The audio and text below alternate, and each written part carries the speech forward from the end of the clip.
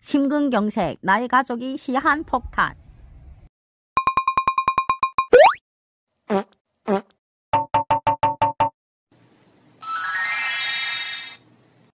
안녕하세요. 처버 유튜버 황아입니다. 오늘도 좋은 하루입니다. 구독과 좋아요는 제게 큰 힘과 용기가 됩니다. 감사드립니다. 오늘은 초보 유튜버 가족의 힘이라는 주제로 말씀드리겠습니다.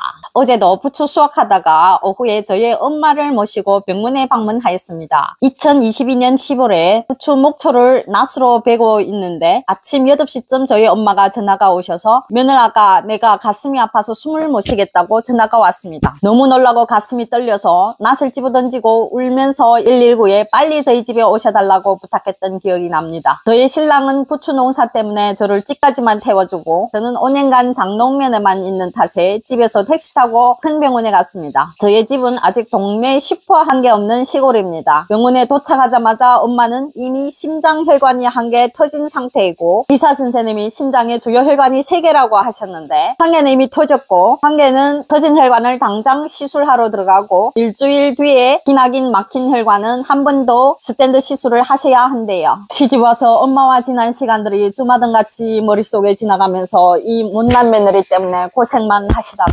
아프시구나 하는 생각에 눈물만 펑펑 났습니다. 계실 때 자라나는 생각도 많이 나고요. 제사상에 생선 몇십만 원어치 올리면 뭐하나 살아계실 때 좋아하시던 회라도 드실 수 있을 때 한 분이라도 더 대접할 걸. 심근경색 부추 농사하는 저희 집에는 시한폭탄이었어요. 13년 전 저희 신랑이 가슴이 답답해서 응급실 실려갔고 저는 둘째를 7개월 임신 중에 저희 신랑이 병 시중을 하게 되었습니다. 충격으로 저희 둘째는 7개월 좀 뒤에 8개월 안 돼서 출산하게 되었습니다. 그래도 건강하게 지금까지 잘 자라고 있어요. 정말 다행입니다. 저희 신랑은 스탠드 3개를 심혈관에 끼고 지금까지 농사하시면서 가족을 위하여 말없이 묵묵히 헌신하고 계십니다. 너무 고맙습니다. 저희 엄마도 저희 신랑보다 두살 어린 남동생 저희 도련님과 저희 신랑만 보고 수십 년을 혼, 홀로 키워오신 홀시어머니시고요. 한마디로 인생 자체가 수고와 고생이었습니다. 몇 년 전에 저희 장가도 안 가신 도련님도 정체불명의 심정지로 돌아가셨습니다. 심혈관 질환 때문에 저는 가족을 잃었습니다. 지금도 동네길에 들어서면 요 귓가에서는 형수하고 부르던 도련님 목소리가 반청처럼 들려올 때도 많아요. 너무나 가슴이 아팠습니다. 도련님을 보내드리면서 저희 신랑은 부추밭에 혼자 일하셨고 저는 장례를 치르고 노란 속구리에 부추를 베가면서 울던 생각이 납니다. 그때는 4월이라 부추 한 단에 천원 600원으로 떨어져서 며칠 뒤에 바로 그만두었습니다. 봄이 되면 부추가 싸지거든요. 그러면 저희는 저장도 안 되고 해서 그만둬야 했습니다. 호박 농사 지으시는 분들은 아마 아실 거예요. 집에 일이 생겨도 예외 없이 호박 수정하러 매일 나오셔야 한다는 것을요. 농사는 혼자 하기 힘들고 가족의 지지와 도움이 있어야만 지지할 수 있습니다. 제일 처음 저희 가족이 부추 농사를 12동에서부터 여름에 시작하였는데 하우스 뼈다귀만 있어서 고랑마다 물 빠짐이 좋으라고 저희 신랑님 경운기를 타고 날이 져서 눈이 안볼 때까지 저와 저희 신랑과 저희 엄마가 하우스에서 일하다가 저녁 9시에 퇴근하였습니다. 큰 아이 낳으니 저희 엄마는 큰 아이를 등에 업고 하우스 길이가 92m쯤 되는데 걸어 다니면서 비닐 위에 줄 치다가 지금은 다리가 아프셔서 걸어 다니시기 많이 버거워 하십니다. 저희 엄마를 고생만 시켰구나 해서 엄청 후회가 됩니다. 하우스 농사일은 혼자 다 하시려면 온몸에 골병이 됩니다. 요 손가락 마디마디까지 다 아픕니다. 저는 손목에 아대를 항상 하고 있고 앉아서 일하는 일은 허리가 작살납니다. 앉아서 하, 일하시는 분들은 꼭 농사용 의자를 하셔야만 무릎을 살릴 수가 있습니다. 심혈관 질환 때문에 저는 이미 가족 한 명을 잃었고 저희 신랑과 저희 엄마는 심혈관이 터져 경각을 다투다가 구급차를 타고 한국이 위대한 의료 시스템 때문에 살아남은 케이스입니다. 지금 저희 신랑과 엄마는 더불어 사는 인생입니다. 저에게도 너무 고마운 존재죠.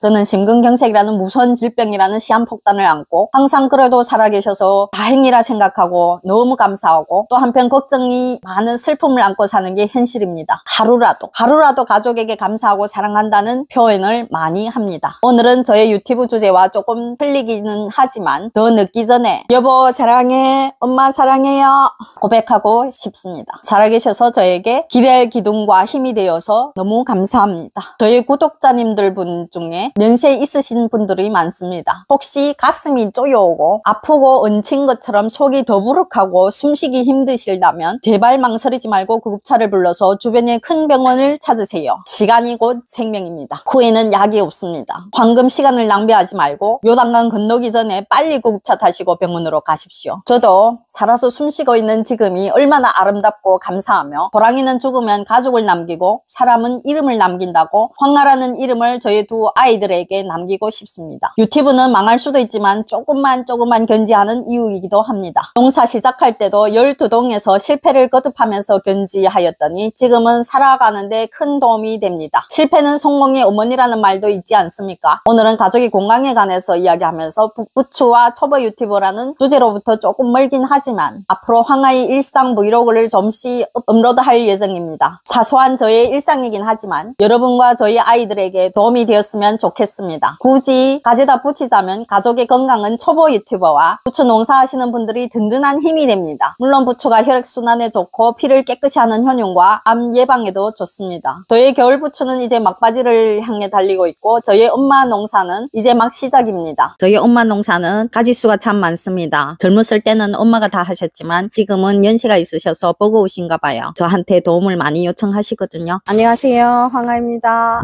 오늘은 저희 엄마를 모시고 대학병원에 갔다 왔어요. 갔다 와서는 조금 시간이 남으니까 유박 심부름 좀 할 거예요. 유박을 이렇게 실어 나르겠습니다.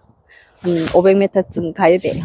가파른 올리막길을 우리 엄마는 선수레에 무거운 짐을 싣고서 몇십 년을 다녔습니다. 이제 저희 신랑과 엄마는 병원에 방문해서 약이 떨어지면 은 혈액을 무르게 하는 약과 고혈압 약을 타서 한평생 드셔야 합니다. 유명한 분들이 동영상 앞부분과 뒷부분에 구독 요청이 도움이 된다고 합니다. 구독과 좋아요는 저에게 큰 힘과 용기가 됩니다. 엄지척입니다.